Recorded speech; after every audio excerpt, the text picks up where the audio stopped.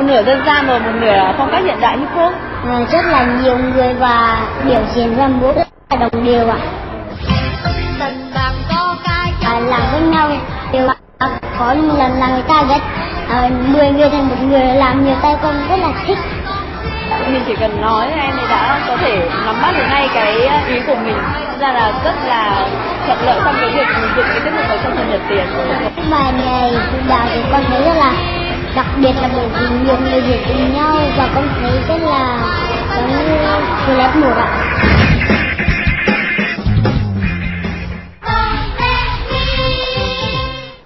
Trong phần giới thiệu vừa rồi, chắc hẳn chúng ta đã phần nào đoán ra ca khúc tiếp theo mà bạn Nhật Tiến gửi tới đêm thi là gì. Đó chính là một ca khúc với tên gọi rất quen thuộc và chắc chắn ca khúc này cũng vô cùng quen thuộc đối với tất cả chúng ta. Đó chính là ca khúc mang tên Chống Cơm. Xin mời Nhật Tiến Chống Cơm.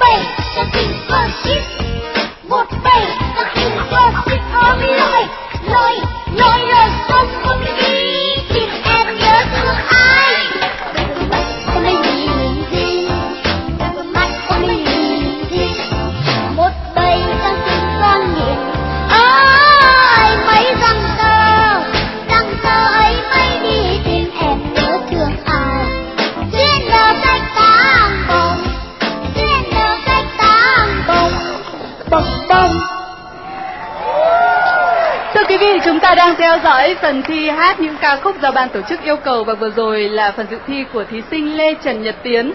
Tiến đã thể hiện một ca khúc mà mọi trẻ em Việt Nam đều thuộc, ca khúc chống cơm dân ca Bắc Bộ. Đó tưởng chừng như là một thuận lợi nhưng lại là thử thách rất lớn bởi vì làm mới một ca khúc đã quen thuộc không phải là một điều dễ dàng. Và theo giám khảo thì ca khúc vừa rồi đã mang dấu ấn riêng của Nhật Tiến được chưa ạ? Ờ, tôi xin ờ, tôi tôi xin được ờ, nói rất là thẳng là thực ra tôi cũng không thấy có cái gì mới lạ lắm trong cái phần thi này. Ờ, tuy nhiên không mới lạ thì không có nghĩa là không hay. Và tôi hoàn toàn ờ, vừa lòng với cái màn trình diễn của ca sĩ nhí Nhật Tiến. mới lạ là cái chỗ là là là là là che đầu hiểu không? Là hip hop trong trong trống cơm hiểu chưa?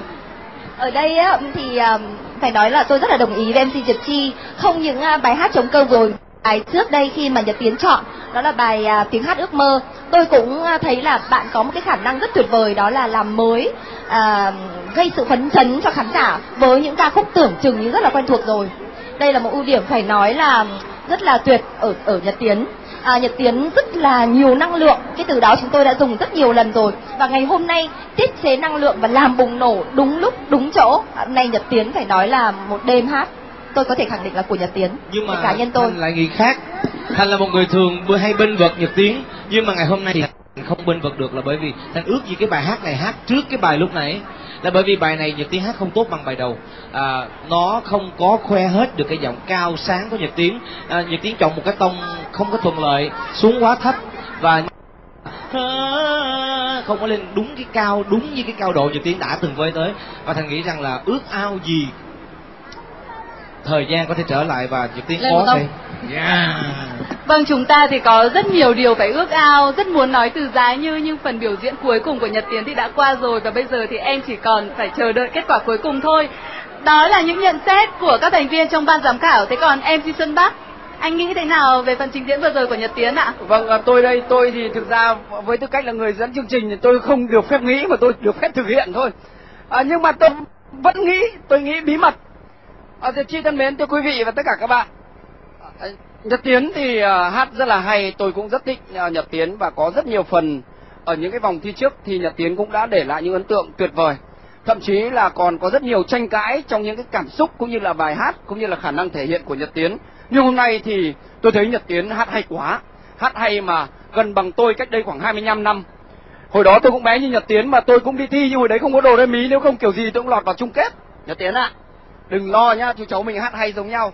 Xin hỏi anh Trinh, à, anh là bố của cháu Tiến và khi mà bài hát này là bài hát được yêu cầu thì anh à, có thấy là vừa lòng với cái ca khúc này không và anh anh có ý định thay đổi không? Xin hỏi anh. À, kính thưa anh à, Xuân Bắc, à, à, trước hết thì à, em thấy chương trình trao cho um, Nhật Tiến bài hát này thì à, gia đình cũng à, rất là vui bởi vì à, tuy là bài hát này là được thể hiện rất là nhiều lần nhưng mà động viên của cháu á, là cháu à, làm khác đi của mọi người thì chắc chắn thì mọi người sẽ chui bài hát của con và à, yêu mến con hơn.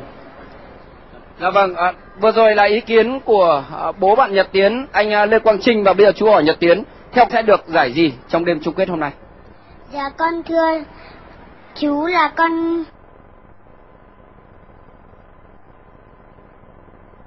sẽ được giải hai là bởi vì là con à, con thấy chú Trấn Thành là nói con là à, không hát hay bằng cái bài trước và con thấy các bạn à, là được nhiều người à, khen À, các bạn nhiều người khen và bạn tự nhận mình là giải hai.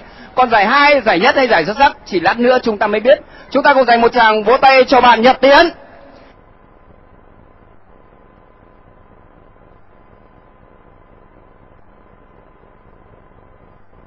Và bây giờ sẽ là phần thi cuối cùng của thí sinh cuối cùng trong đêm chung kết ngày hôm nay. Một người cũng luôn được chờ đợi đó chính là bánh rán.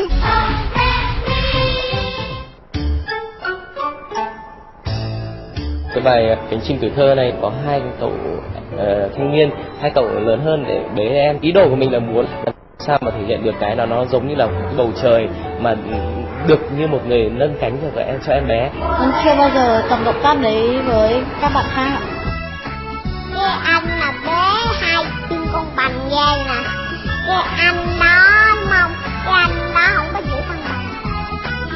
cái bảo chân ờ, cô bé thì ờ, hơi nặng một chút thế nên là các anh có vẻ là không một tí Ăn rất là nhiều hơn, ngủ nhiều hơn. Bây giờ thì nó cảm nó béo hơn. em thì hơi nặng chút xíu Em ấy hơi nặng rồi con béo nhưng mà con vẫn tin Chúc Bảo Trân có phần biểu diễn thật tốt nhé. Tôi có thể hoàn toàn tin tưởng là Bảo Trân sẽ có được một kết quả tốt trong cuộc thi này. mình xin chúc cho bảo trân ờ, đêm chung kết diễn một cách hết mình cũng như là con hãy múa mềm mại như chính giọng hát của con Bạn Bảo Trân này buồn cười cực nhá. Bao nhiêu bài hát cũng như vở kịch của bạn đóng toàn liên quan đến con chim thôi. Hôm trước thì bạn đóng chim cánh quạt, còn hôm nay bạn sẽ gửi tới cho chúng ta ca khúc Cánh chim tuổi thơ. Bài này hay cực. Vỗ tay cho Bảo Trân, vỗ tay to lên nào.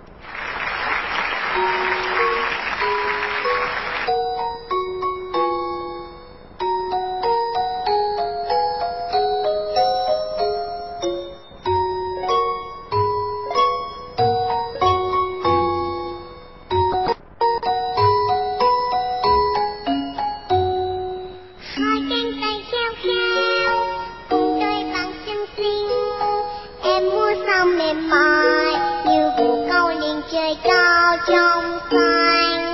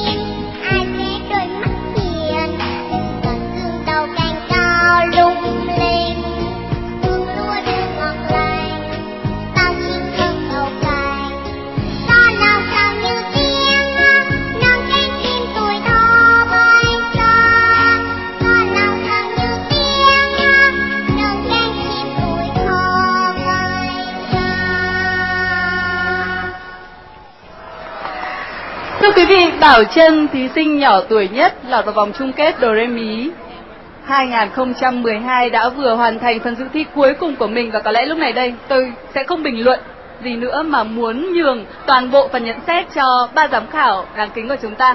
Xin mời ca sĩ Thái Thùy Linh.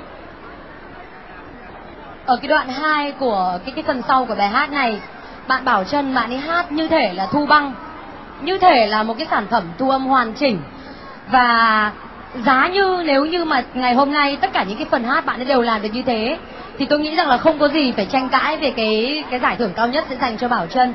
Nhưng mà uh, có thể là do cái tuổi của bạn ấy cái phong độ nó chưa phải là được là hoàn hảo trong tất cả những cái phần hát của bạn ấy cho nên rằng chúng tôi sẽ còn phải cân nhắc và còn phải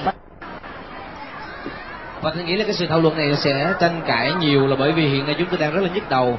À, có những bạn có những tiết mục à, đầu hay những tiết mục sau chưa hay lắm. Có những bạn những cái tiết mục sau lại ờ, nổi trội hơn những tiết mục đầu. Và chúng tôi đang rất là đau đầu là không biết là như thế nào. Nhưng mà riêng bài này của bảo trân thành thấy là bảo trân đúng là à, bạn là cái người thấp nhất trong đám đông nhưng mà là cái người bắt mọi người phải chú ý bạn nhiều nhất.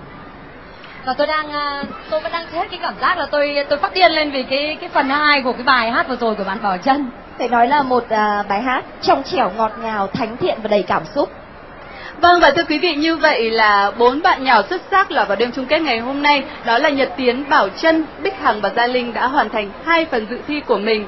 Và trước khi đến với kết quả cuối cùng thì ờ, ban giám khảo của chúng ta có muốn nhắn nhủ điều gì tới các bạn thí sinh cùng quý vị khán giả không ạ? Trước khi đến với phần công bố kết quả cuối cùng. Ờ, chúng tôi à, tôi xin được thay mặt để ban giám khảo để à, nói với các con rằng à, ngày hôm nay cả bốn con đều rất là tuyệt vời. Các con đều đã thành công trong phần thi của mình. Và sau đây thì ban giám khảo sẽ phải à, cân nhắc một cách rất kỹ càng nhưng đảm bảo là sẽ công minh hết sức có thể để đưa ra cái kết quả chính xác nhất đến bốn bạn. Vâng, xin cảm ơn ban giám khảo. Không chỉ vì uh, sự tham gia ngày hôm nay mà còn sự tận tâm và hết mình trong suốt mùa giải Đồ Rê Mí vừa qua. Và chúng ta sẽ cùng hồi hộp chờ đợi kết quả cuối cùng. Còn lúc này, nếu quý vị uh, yêu mến Bảo Trân và